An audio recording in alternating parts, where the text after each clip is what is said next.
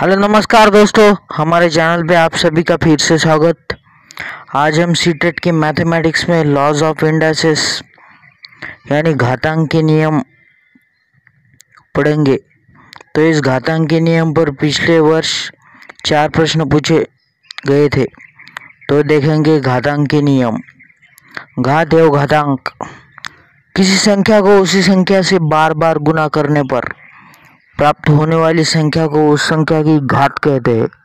यानी एक्सपोनेंट, जैसे 20 की पाँच बार गुना करने पर 20 रेस टू फाइव यानी 20 की पाँच गुना किए इस, इसे 20 की पाँच घात पड़ते हैं। आगे देखिए, यदि संख्या ए को एन बार गुना करे तो इसे ए रेस टू एन लिखा जाएगा तथा इसे एन घातांक इंडाइसेस ए पढ़ेंगे। जैसे एट रेस टू सेवन को सात घातांक आठ पढ़ेंगे अथवा आठ की घात सात पढ़ेंगे घातांक के नियम। समान आधार की भिन्न भिन्न घातें जुड़ जाती है, तथा जबकि संख्याओं की परस्पर गुना हो। A raise to x into a raise to y into a raise to z equal to क्या है? A raise to x plus y plus z है। समान आधार की भिन्न भिन्न घातें घट जाती है, जबकि संख्याओं का विभाजन हो। a raised to m divided by a raised to n equal to a raised to m minus n किसी आधार की घात दी हो तो घातों की परस्पर गुना हो जाती है। नीचे उदाहरण दिया है a raise to m bracket close raise to n equal to a raise to m into n जैसे eight raise to two raise to five इस पर गुना हो चुकी और आठ आठ का घातांक दस हो गया है। दो गुनला पाँच बराबर दस। आगे अगला नियम क्या है? अलग अलग आधारों के गुणनफल पर लगी कोई घात प्रत्येक आधार पर लग जाती है। ब्रैकेट में a b raise to n है।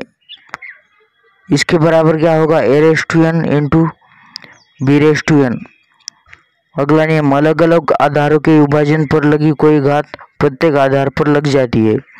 A divided by b raise to n equal to a raise to n divided by b raise to n तो यहाँ पर a divided by b raise to n equal to a raise to n divided by b raise to n हो चुका है। अब देखिए अगला नियम क्या है। किसी संख्या की शून्य घात का मान सदैव एक होता है। यानी जैसे क्या दिया है हमको? A raise to zero equal to one यदि आधार संख्या बराबर हो तो घाते भी बराबर होगी। ए रेस टू एम बराबर ए रेस टू एन तो एम बराबर एन है। यदि आधार संख्याएँ बराबर हो तो घात भी बराबर होता है। अगला नियम क्या है? यदि असमान आधार की घाते परस्पर समान हो तो आधार के परस्पर बराबर होते हैं।